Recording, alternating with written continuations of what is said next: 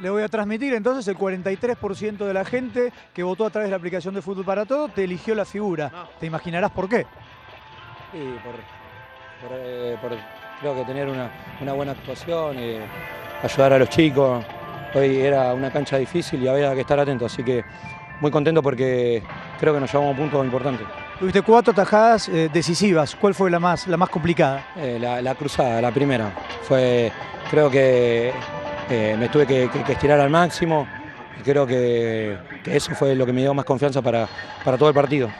De ahora en más, con nuevo entrenador, ya quedó atrás las 12 fechas sin poder ganar. Un punto de partida que sirve para reconstruir al equipo. Sirve, sirve mucho.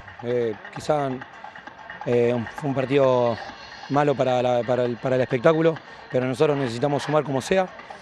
Y, y bueno, ya nos tenemos que olvidar de esto y, y el próximo sábado en cancha nuestra con Temperley tenemos que ganar. La última, ¿fue justo el empate?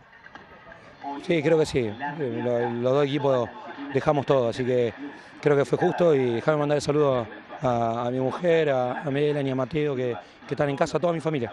Bárbaro, muchas gracias. Gracias a ustedes.